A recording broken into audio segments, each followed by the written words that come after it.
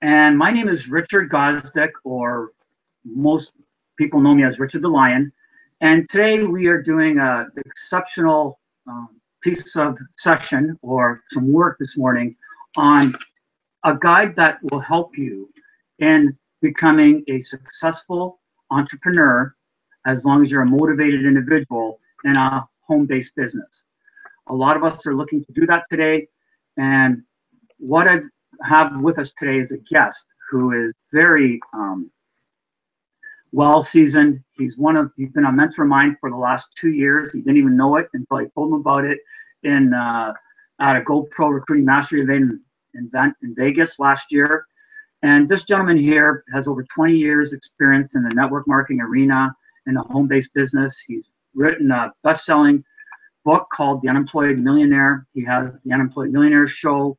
He's built teams of close to a million people, and he's had incredible success. His name is Matt Morris. And Matt, would you please share with us right now your quick story? Yeah, would love to. And first off, just uh, want to thank you for inviting me on your uh, on your hangout here. And you know, you got to let everyone know one of the biggest keys I think to uh, being successful in business is you know having a mentor, someone that you can work with. And uh, you know, if you're watching this, chances are you're part of Richard's team, and so you got to realize you are very blessed to be working with him. Uh, just the you know short chance we've gotten to know each other. Uh, very few people are as committed as him, and you know, he just wants to see every everyone succeed, super hard worker, really knows the game. And so um, realize you're, uh, you're in good hands with him. So um, yeah, you know, my quick story, I got involved in, uh, in network marketing actually when I was 18. I was um, working as a banquet waiter at uh, a hotel. And one night i had a really cute waitress that um, you know as we were bringing dishes in and things like that she kept initiating conversation with me. And uh, at one point she said do you, uh, you ever think about having uh, being in business for yourself? And you know i wanted to build rapport with her. So i said yeah all the time actually. And she said well why don't you write your number down? We'll talk business sometime. And i was like love to talk business. So I gave her my number and um, she uh, called me a couple days later and said, hey, why don't you meet me at the Hilton Hotel one night we can talk business. And I was like, all right, business, hotel, night, I'm in.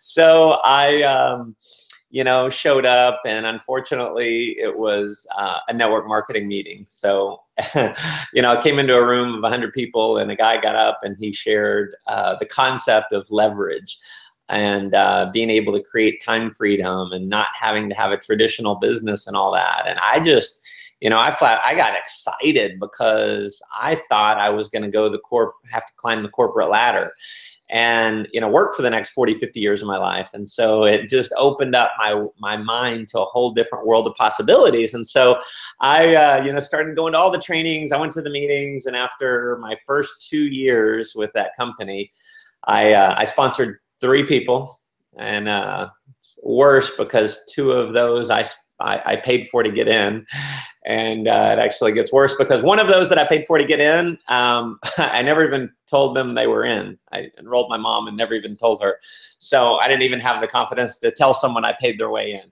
so I was, you know, not the best network marketer, and uh, you know, didn't get a whole lot better after that. I uh, joined another company and didn't have success. I joined another company, didn't have success. Another company, I didn't have success. Uh, long story short, I ended up uh, at one point I actually joined a uh, kind of a non-networking company and um, opened up an office. I did all the I was supposed to do. I spent money on all kinds of crazy advertising. And uh, 21 years old, I found myself $30,000 in debt. I was living at home with my mom. She said, uh, you know, you're adult enough to pay, uh, you're adult enough to have your own business, you're adult enough to drop out of college, and adult enough not to have a job. So you're also adult enough to pay me rent. So pay me rent or move out at the end of the month. And so I had no money. I had negative money at the time. So I uh, took a job selling above ground swimming pools in southern Louisiana in the two hottest months of the year. And I uh, couldn't afford a motel or an apartment or anything like that. So I just lived out of my car. I had this beat up red Honda Civic. And I would uh, bathe in gas station bathrooms. Uh, it was just a fascinating experience in my life. I, uh, I kind of woke up one night. Um, so to speak. I had my defining moment. I was um, in this church parking lot and I, I, would always park in church parking lots because I felt like a criminal would feel guilty carjacking me in a church. so I, uh, I'm laying in my seat. It's pouring down rain. Normally the rain would help me sleep, but that night I cannot fall asleep. And some of you have probably guessed why. The reason why I can't sleep is because I can smell myself. It, I stunk. It had been a couple days. And so, you know, I look out, it's raining outside. So I took off all my clothes. I got out in the middle of the church parking lot with nothing but a bar of soap and, you know, showered naked in a church parking lot. And, you know, um, I'm so grateful. I kept a journal of my experience. And that night, I actually journaled my experience. And, you know, I just realized, you know, I'm 21, I'm homeless, living out of my car, $30,000 in debt, I'm lonely. I don't have any friends where I'm, you know, living. um, don't have any career options. You know, this selling swimming pools door to door is not going to go anywhere. So I just, you know, woke up. They say there's two motivators in life. There's the desire for pleasure and then the avoidance of pain. And you can guess which one is bigger. It's the avoidance of pain. And so I guess I finally had enough pain um, you know, they say when the pain of remaining the same outweighs the pain of change, uh, then one will change. And so the pain was great enough. And I remember writing in my journal, I just said, Matt, you know, I'm going to commit, do whatever it takes to achieve success, do whatever it takes to change my financial future. And, you know, that was the beginning of what I would call my reinvention process and uh, it's just it definitely was a heck of a journey. I've never had any, you know, uh, like I had, I was never an overnight success. It took me five years to get to a full time income. Five years to get full time in network marketing, and so, um, you know, Richard, I see what you've done. You know, your story is amazing. Thirty four months in uh, in in you know the profession, and you're already just knocking the ball out of the park. So congratulations, you're way way ahead of where I was. So you know, I know a lot of people have maybe been in for six months or a year or something like that, a couple years, and you just feel like you're banging your head against a wall and so you know i can definitely relate to that because it was like year after painful year after year where i was so frustrated so pissed off at myself and you know beating myself up thinking oh i'm doing everything wrong. And um, you know just thank god i didn't quit because the lifestyle that you get to live being a top earner in network marketing. I'm telling you, it's just second to none. So I am incredibly grateful for all of those challenges because, you know, they always say it makes you who you are. So, you know, become proud of the person I am because of the experiences that I went through. That's amazing. And what a story. I mean, your story is, that's one of the reasons that I've had you mentor me over the last two years. I use you all the time. If you ask our team, we have a team of around 20,000, 24,000. And, you know, one of the key things that we have found that people do not do is a lot of them, when they, some of them will start, you know, they want a better life. They want to fire their boss. They want to become debt free. They want to spend more time with their family. They want to travel more and give their kids the stuff that they never had. And you know what? When they start, they spend a lot of time trying to figure it out before they begin. And they're saying no no no i have to be really organized before you know i have to i got to learn it all. Um, before they really start to take action and then what will happen is they talk to a few people or whatever it may be and then their enthusiasm wanes and they die off. Can you maybe address that a little bit please? Yeah you know i mean i, I say the reason why people there's one main reason why people don't do anything once they join. And there's one main reason why people you know quit early or, or even quit late. I mean the number one reason is, is they get their feelings hurt. Um, you know they get their feelings hurt or they're afraid of getting their feelings hurt. And so it's the fear of the fear of rejection is the number one fear in the world. You know i mean people always say it's the fear of public speaking. In reality the fear of public speaking is just the fear of being rejected publicly right? and so, um, you know what what I always like to do, you know, is a couple things. You know, one is the the way I see our job in network marketing. Our job in network marketing is not to convince people to join our business. You know, that's not what we're selling. You know, if we're selling anything, we're selling time. We're selling 30 minutes or an hour of time to look at our opportunity. So our job is really this, it's to educate people on what we're doing and collect a decision. And you have to get to the point where you know you have to realize that not everyone is going to join you. You know you could have the best opportunity in the world and no you know not everyone's going to do it. There's some people are just skeptical. And listen we don't want everyone because if everyone would join if network marketing were easy there would be no opportunity. So you got to get that straight first. Is everyone's like well no networking it's hard. Well yeah it's hard. That's why there's an opportunity. See if network marketing were easy a company would pay out 10% of their revenues to us. But most companies, they're paying out, you know, 40, 50, 60% of their revenues back out to the field. Why do they pay us so much? Because you have to be willing to get over the fear of rejection. You got to be willing to go out and build teams and go through the numbers. So I'm incredibly grateful that it's challenging because that's why the that's why network marketing companies will pay us a fortune if we end up getting good and going out and building big teams. And so number one, be grateful for it. And then two, it's that this is you know, not everyone's going to do it. You could have the best thing in the world. See, when I was in high school, I worked at an amusement park, and at the amusement park, they would give us five employee passes that we could use to give to our friends and family.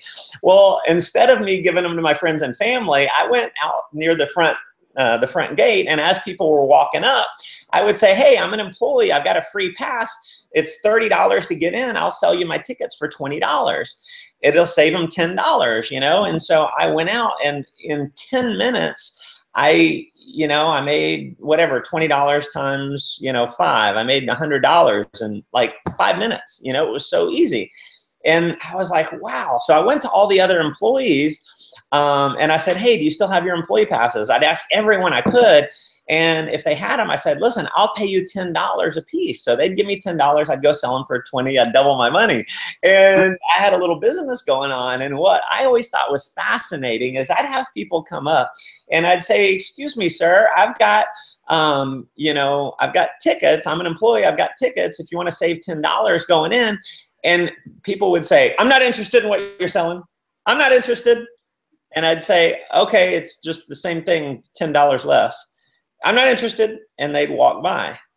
And I'd watch them go pay $10 more and walk in. And it was just fascinating to me. It's like literally, I'm doing them, handing you a $10 bill if you're smart enough to take it but not everyone is smart enough to take it. That's the reality of the situation. So this is a numbers game. And so the way you have to look at it, it's kind of like being a waiter. Chances are you've been out to eat at a restaurant before.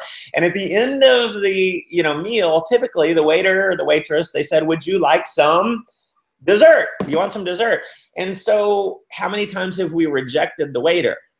A ton, right? All the time we've rejected the waiter. We've said we don't want dessert. We're full, you know, we just don't want it. And so the waiter, do they get offended? They don't get offended. That would be ridiculous. It'd be stupid for them to get offended that you don't want dessert. You know, they don't say, and then they don't beg and plead. They don't say, well, but please, please have dessert. It's really good. No, they don't. They don't go, freaking restaurants, they're all a scam. Desserts don't work. That's crazy. It's ludicrous. It's equally as ludicrous to be personally offended and you show your business to someone and they don't like it. Now, there's going to be people who say they don't like it. They don't want to join. They don't have the money. They don't have the time, whatever.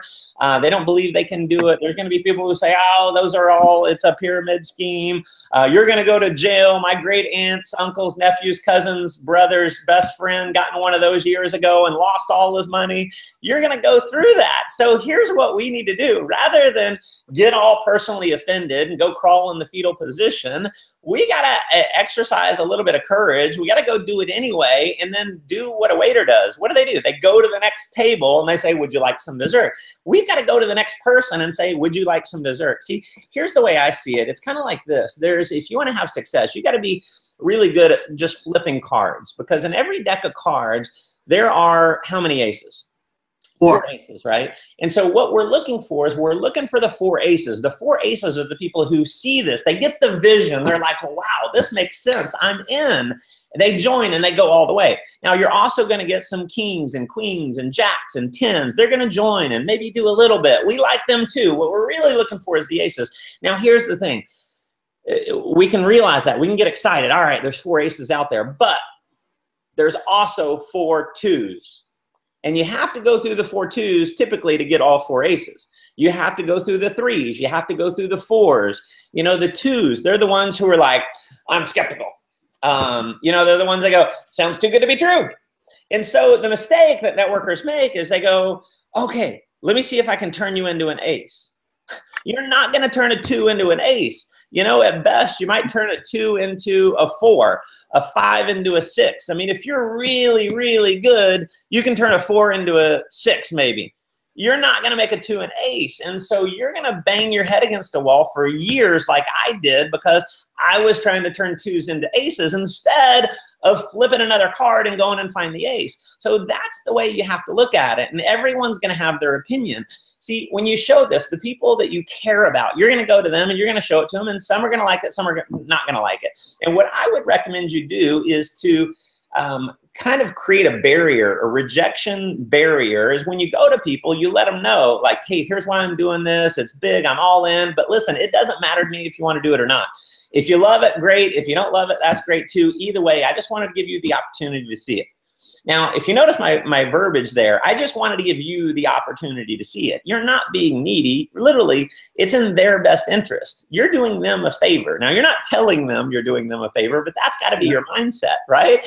And so you just literally go through the numbers. Now, some people are going to have their opinions, and a lot of times the reason why they have such a strong opinion is because you're being really pushy you know? But if you're saying listen either way is totally cool if they start giving you any you know kind of negativity it's like hey i appreciate you looking and then you're off to the next person. Don't even allow it into your mind. Just move on. Because uh, here's what I tried doing for years I tried paying my bills based on the opinions of other people. And you can't pay your bills. Other people's opinions are not going to ever pay your bills. They're not going to pay your mortgage. They're not going to pay your car payment, not your, pay your electricity. They're not going to pay for your vacations, nothing. So, as far as I'm concerned, people can take their opinions and do whatever they want with them. See, and people are going to be afraid they see something like this and they may even know it's good. I mean, anyone in this day and age that has any kind of business sense at all, they know network marketing is a solid vehicle. I mean, the third wealthiest man in the world, Warren Buffett, he owns three network marketing companies. You'd have to be half brain dead not to realize network marketing is solid, but they're going to say it's not solid because they're afraid. They're, they realize they'd have to go show this to people and get rejected. And so they're going to have an opinion. So never denounce your success because cowards have an opinion. You got to just go out there and do it. And you got to develop courage. See, you're never going to have a total absence of fear. Fear's never going to totally go away. I mean, fear is there to protect us in a sense. But, you know, fear is i'm going to encourage people to adopt a different kind of fear. You know your fear you know fear is temporary regret is forever. You don't want to live your life filled with regret because if you live in fear what happens is you live the rest of your life in helplessness the rest of your life in helplessness if you stay in fear. You got to have courage. Courage is having the fear and doing it anyway. So if you're never going to get rid of fear, have a fear, but be afraid of fear itself. Be be afraid of being fearful. You know, have that fear of being afraid. Yes. So that's why now it's like if I feel afraid, oh no, I'm afraid of living in helplessness the rest of my life. I have to go do it. Okay. so keep the fear, just have a different fear. That's my uh, my advice. Wow, that's uh, that's amazing, and that's really what goes through everyone's mind that we find is that even Eric Worre talks about you have to be willing to accept the temporary loss of social esteem from ignorant people. And if you can deal with that, he says, and just work consistently towards something like have a good daily method of operation, then you will be successful. okay, it. so the next the next question is, you know, we have a lot of people though, now that they've never they've been an employee mentality, they've been employees for a long time. They get home from work because a lot of people are doing this part time, and they get uh, bogged down with NIPA versus IPA. Can you maybe explain um, how they can, maybe a routine or something around that, how what they should do for a uh, daily method of operation? Yeah, absolutely. So NIPA versus IPA. So NIPA is non-income producing activities. IPA would be income producing activities. And so, um, you know, what happens is you, you really need to develop a little bit of, um, you know, personal motivation. And if we're used to having employee mentality, which most people are, you know, we're used to, you know, having a set schedule. Uh, we're used to, you know, blocking out. We know we've got to be there from nine to five, otherwise we lose our job. And so, you know, in a way, take that same, you can take the parts of that and apply it to your network marketing business. Um, the scheduling, you know, realize that if you don't schedule the time, if you're not blocking out the time, usually it's going to get away from you. You're going to end up not doing it. And so if you didn't show up for your job for a day, you might be able to get away with it. If you didn't show up for two days um, or three days, certainly, you're going to be fired. Okay, you're going to lose your job. And so realize this is a real business. So it may cost, I don't know what it costs to join uh, your company. Maybe it's a thousand dollars, but if it's a thousand dollars, the worst thing you can do is treat it like a thousand dollars. Or if it's two thousand, the worst thing you can do is treat it like two thousand dollars um, because you get out of it what you put into it. You know, you got to act as if you invested $2 million. Now, if you invested $2 million and you had a real business, if you had a storefront, for instance, obviously, if you don't show up, um, you're going to be out of business. So it's the same thing in network marketing, only you get to work the hours you want. See, the great thing, one of the greatest things about our our type of business is it's not a big investment. You know, it's a few hundred to a few thousand dollars at most to get started. The bad part about our business is it's only a few hundred to a few thousand dollars to get started because you treat it as such. And so I'll tell you, when I came into you know, my, for instance, my current network marketing company, when I joined, it wasn't a few hundred dollar decision. I acted as if it was a few million dollar decision. So I'm blocking out, you know, I know every Tuesday night I'm at this event. Every Thursday night I'm at this event. Um, I know I'm doing conference calls. I'm making calls. In fact, um, you know, what I've done a lot over the years is I'll actually block out in my calendars from two to four o'clock. I'm making prospecting calls. I'm scheduling in my planner because for me, it's a real business. So you got to treat it like a real business and block out your calendar. Now, when you're blocking your calendar out, it's IPA, it's income producing activity. So NIPA would be redoing your list. It's resorting your list for the third time. It's organizing your office. It's, um, you know, uh, getting all your uh, files and your folders on your, in your computer exactly the way they need to be. That's never going to make you any money money. What are the IPA activities? So IPA activities are, you know, getting someone's phone number. Um, IPA activities are calling someone and inviting them to look at your opportunity. It's presenting your opportunity. It's following up with someone. Uh, and follow up can turn into a NIPA activity. If you followed up with the same person for four, five, six, seven times, You've taken an IPA activity and turned it into a NIPA activity because it's so much easier to follow up with someone for the 18th time than it is to call a new person because you already have that relationship, right? No, you got to go realize you're in NIPA if you're calling the same person for the fifth time. Go call a new person. Um, getting a new member started. See, getting a new member started and training them, this is also an IPA activity that can turn into a NIPA activity because what happens is in many cases is we enroll someone in our business and not everyone is going to go duplicate and i'll tell you the way my numbers have worked out over the years out of every 10 or so that i've enrolled i get about four who do nothing i get about four who show up and i get about two who are serious now, it's give or take. I might get one to three who are serious. I might get three to five who show up. I might get three to five who disappear and do nothing. Those are just the numbers, okay? It's just the numbers. And so what happens is when you, and, and I call it, I say our whole job in network marketing is so simple. Our job is to sort through the chickens to find the eagles. See, we have a multiple sorting process. The sorting process starts with showing our business, you know, showing our opportunity. And so you're sorting to get people in. And always remember professionals sell, amateurs sort. If you want to get really good, sort through, go get a lot of no's, realize you can't get a lot of yeses without a lot of no's. The way I see it, we actually get paid on the no's. So I'm excited if I get a no because I know that leads me closer to a yes. So we sort to get people to join. And then once the people that we enroll, now we're sorting to figure out who's going to do anything anything.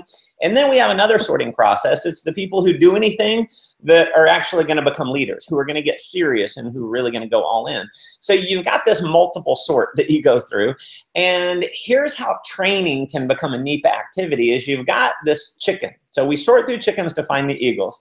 And the chickens are never going to turn into eagles. You might have an eagle, uh, an eagle in training. It looks like a chicken, but it's really an eagle in training. Um, but whether it's an eagle in training or it's a chicken, meaning they're not doing anything, you overtrain your person. You're spending two hours getting someone started and you know you're constantly sitting down let's have lunch. Let me train you more. And you're constant that's trying to make a chicken fly. They're not going to fly. And so that's where training can even be a NIPA activity. And listen i'm a trainer. I mean what i love my calling in life is moving people. Um, it's being able to touch move and inspire people and take them to another level. So i believe in training i mean as much as probably anyone in the world anyone in network marketing but you can't spend hours upon hours upon hours with someone who's never done anything and expect you to train them to death. That's not going to make them go do something. Okay. So, you know, hopefully that kind of answers your question. But, um, you know, the key is, um, it, it, you know, I think is just a numbers game. Well, that's great insight. And what a great uh, help that will be for our team and anybody really looking at this to grow their own stay-at-home business. So speaking about growing, what is the fastest way to grow an organization? And what kind of what are the best people that we should look for out of those 10? Is there a certain person? I know it sounds like you said no, just sort, but which one would be the best, uh, Matt, from your experience? You know what? What I'm always looking for is someone who has ambition. I mean, if they've got ambition and work ethic, desire and work ethic, that's what you're looking for. And you're always, you know, kind of looking at people with two eyes. You know, you got one eye of expectation and positivity. You know, it's like they're going to crush it. You know, and when you're talking with them, you're telling them, you know, you're the one. You're the one. I believe in you. You can absolutely do this. And then you're looking at it from the other eye. You're going, well, you know. Uh, because some people talk a big game, you know, yeah, I'm going to go, uh, you know, build it big. It's like the person who tells you you got lucky because they joined your team. I always hate that. Whenever someone says, "Man, you're going to get rich because I'm on your team," I know they're never going to do anything. Um, you know, so I'm always telling people is when they when they talk a big game, I'm saying, you know, I I hear you, I hear you, I see better than I hear, but I hear you. Okay, so um, and I uh, tell me the question again. I started going off. Oh, yeah, no worries. The question is: so, what's the fastest way to build our organization, and the kind of what are the best people to look for? Because people. yeah, most people are people with ambition, and again, it is a sorting process. So I, here's my attitude, though. What happens is some people. I remember uh, going to a. Uh, um, a presentation or training one time, and the speaker who was on stage said, "I'm I'm only showing it to people who are serious." And you can only show it to people who are serious. I typically want to show it to everyone, you know. And here's why: is because every dud knows a stud. I've had a lot of chickens who have led me to eagles. You know, I think about a guy that I sponsored. Uh, we'll call him Jimmy. So Jimmy joins the business, and you know, he was one of those that was he showed up you know, he'd come to trainings here and there. He wasn't serious. He didn't come to most things. He'd show up every once in a while. And so, you know, a lot of people could say, well, he's not someone I'd ever sponsor. Um, I wouldn't want to work with someone like that. Well, you know, he kind of came around the campfire, and I love having a lot of people who are just, you know, they're customers. You know, they're reps, but they're really just customers. They're great. Love on them. Be there for them. Um, that's going to be the bulk of your organization when it gets really big. Um, you know, I had a guy one time who said, I went to all 20 people uh, that were on my team and I said, Um, I only want to work with people who are committed to going all the way, who are serious. So either go all the way or quit. And he had everyone on his team quit. so no, if you're going to be a chicken, that's fine. I'm, you know, it's fine. It's fine. But you know, this guy Jimmy, he wasn't a stud. He set up one meeting for me. He set up a meeting with a guy named Glenn. Eh, Jimmy never did anything else. Glenn set up one meeting for me that same day with a lady named Terry. Glenn never did anything else. Terry set up one meeting for me a little later that day. Carrie never did anything else. Um, and the guy she set up the meeting with was a guy named Mark, and Mark built a team of a few thousand people. So I had a dud, led me to a dud, led me to a dud, led me to a stud. You just never know. So my attitude is I'm going to show it to everyone. Now, who am I going to run with? And this is the key that who you spend your time with are the people who are actually doing it who are working, who are building. You're spending your time with the Eagles, the ones that are ambitious, that have the desire, that want to work. So that's who we're looking for. And sometimes the people who do have a ton of desire and they've got a ton of work ethic, they're not talking a big game. They're not a big mouth frog. They're swift, silent, and deadly. And you don't know who's swift, silent, and deadly. So you just got to show it to everyone who comes along you know and if, if they show interest hey i'm going to show them because you, you can't judge people based on appearances and in many cases you can't judge people on what they say because you know i mean i've got some people who they're not the most charismatic people in the world. They can't really move a crowd but man, can they produce. I mean, they're just willing to outwork everyone. So the key is show it to everyone. You're obviously looking for people who are ambitious, who are sharp. You know, if you're getting, I don't have the money a lot, you're sponsoring down. You know, so you're looking for people who are ambitious, who are willing to work, that have some credibility, um, that are a little bit more upwardly mobile. You know, if you're looking at generally who is it that's going to, you know, come in and build the business, it's, you know, if you got someone who's successful already, well, there's a reason why they're successful already. You know, usually they're going to be the ones who are going to do better, but not always. I've got a lot of people over the years who, man, they were dead broke. Me, as an example, I was working as a waiter living at home with my mom, driving a beat up car. And I went from, I, and I was doing network marketing on the side. And I finally found, you know, I got enrolled by a guy who was an amazing mentor. And, you know, it was everything finally came together. And I went and built, built a team of 10,000 people in two years. I went from living at home with my mom, making three, 400 a week as a waiter to making 2,000 a week within 90 days and 10,000 a week within six months but I look like a chicken. I look like a dud, but you couldn't measure. You, you can't measure someone's heart. Really good. Um, you know how a lot of people will join companies and they're cruising along, and I've got a few uh, mentors that I'm using right now, like Robert Hollis and Eric Worre, and even Robert has had this happen, and so did uh, Eric.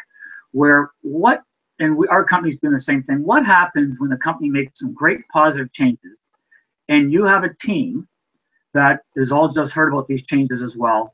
As leaders and also just as ordinary entrepreneurs in the field now what is our role? Because i know the tendency is to you know try and figure it out you stay confused you start to procrastinate.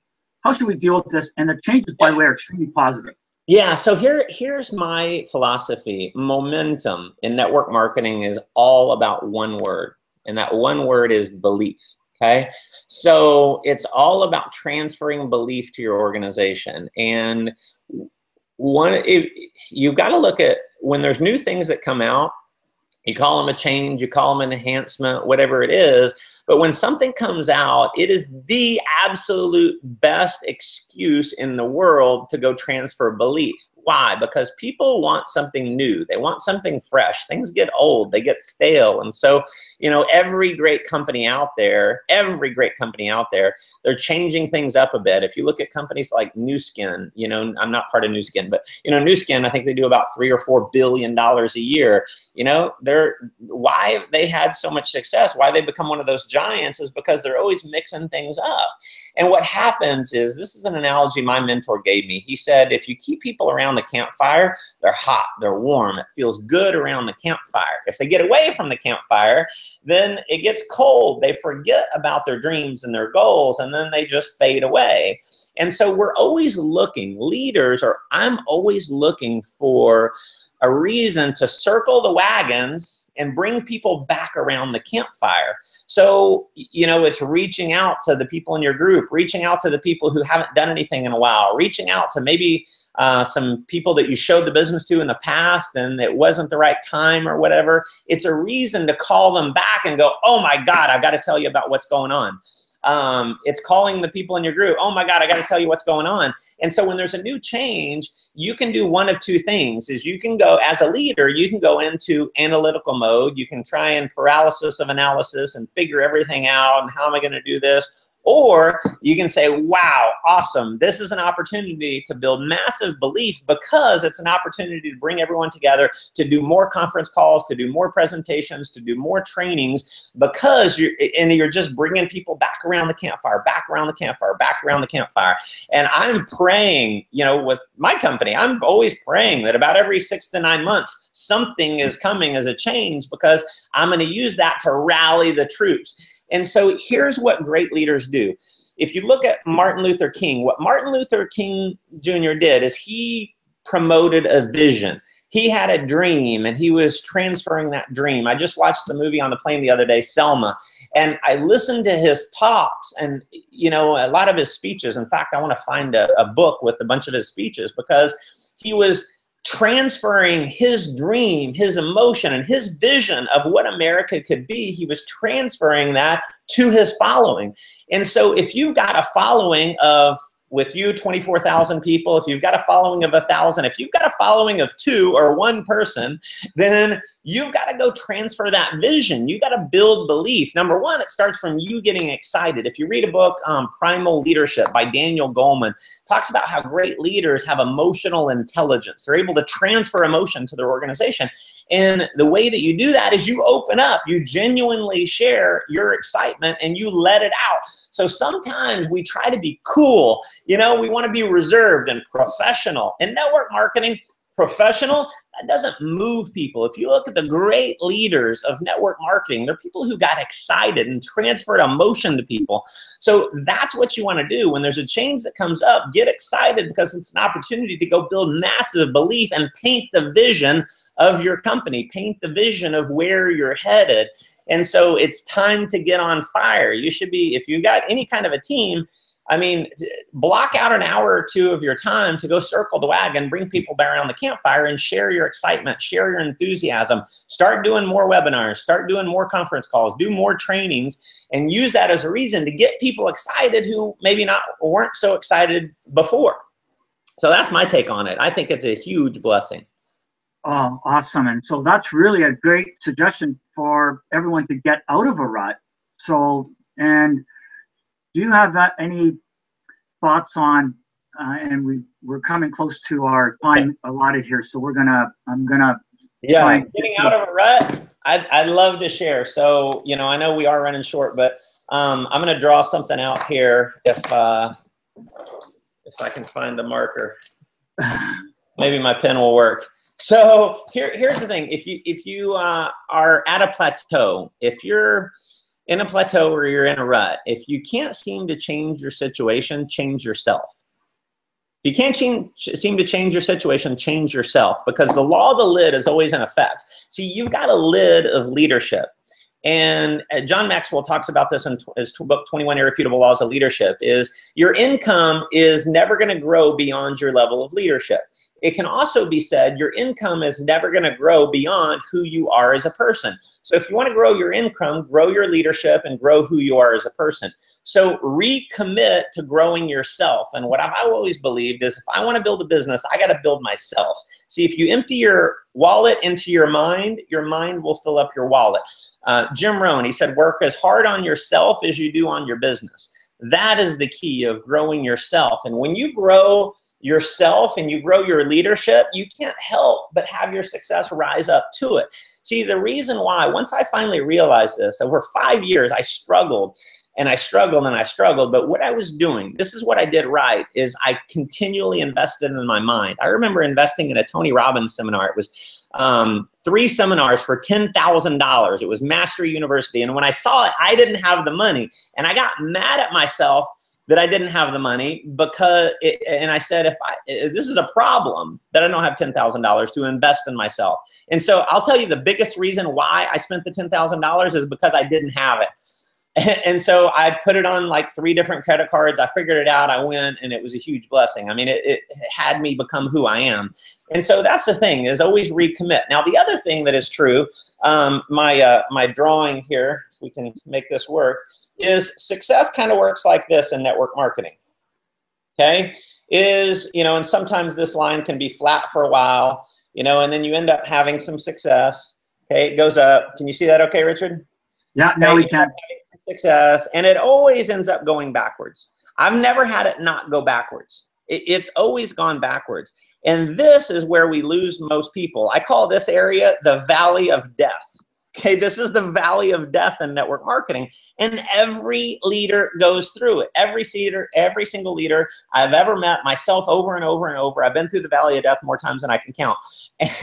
and the first time it was really hard. The second time it was really hard. The third time was a little easier. The fourth, you know, it gets easier. And if you understand it logically, you know you can get out of the valley of death. Now, how do you get out of the valley of death? You just keep doing the or the actions. You just keep showing the business to people. You just keep enrolling people. You know, I look at um, in fact, um, one of my recent teams. You know, I got it up to about 400 and some odd people, and then it went down to 162. I lost a bunch. And I just, I, I was frustrated, but I said, you know what? That's just the valley of death. I can let it kill me, or I can just keep walking. And if you keep walking, you're going to get through. It's kind of like I climbed Mount Kilimanjaro last year and we went up to 15,000 feet and then we had to go down to 13,000 feet to get back to 15,000 feet. I'm like, man, we just lost 2,000 feet. Sometimes you have to go down in order to get up. You just have to keep walking. If you keep walking, you're going to find the leaders because the aces are there if you'll just keep flipping cards. Uh, brilliant. A couple uh, last things here. I know in our business, we want to become so close to fearless as possible to do our business. And you talked about that being the mindset. Secondly, we got to develop the skills so we can start running, and that's important. And the third is a, a really good game plan that we got to establish.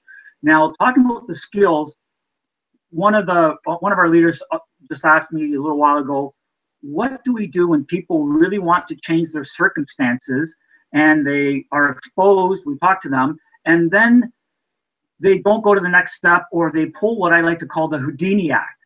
They disappear. They're like gone off the face of the planet. So listen, when they disappear, that was the chicken. You know, there's a great cassette. It's Jim Rohn's Building Your Network Marketing Business.